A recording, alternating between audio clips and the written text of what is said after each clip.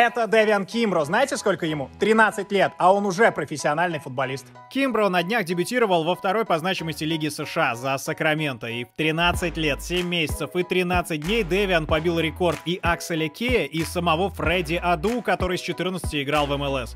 Но если брать мировое достижение, его побить никто не может с 2009 -го. Тогда 12-летний Маурисио Бальдивьеса сыграл в чемпионате Боливии за клуб своего же отца, Аурора, но звезды из мальчика не вышло. В 21 Бальдивьеса закончил карьеру. Был еще такой Эрик Готпауэр Маршалл, 11-летний мальчик из 4 лиги Либерии, но его рекорд официально не зарегистрирован.